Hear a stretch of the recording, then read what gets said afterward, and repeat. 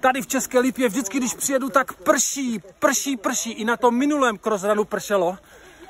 A já jsem Rakožušník z běžeckého klubu Prostě běž a jsem strašně moc rád, že tady mám díky městu Česká Lípa fantastický doprovod a skupinku, která běhá a pojďme se každý představit. Vaďka, Ala, Alex, Josef.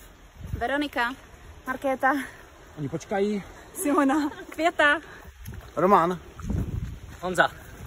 A čekáme, vždycky běžíme podle toho nejrychlejšího a nejposlednějšího, která nám řekne svoje jméno.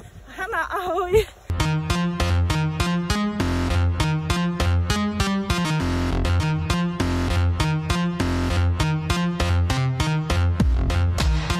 No a toto je závěr toho našeho předzávodního výběhu, takže zveme všechny, kteří ještě teď přemýšlí nad tím, že by se přihlásili do našeho závodu tady v České Lípě, tak to určitě udělejte tady pod videem.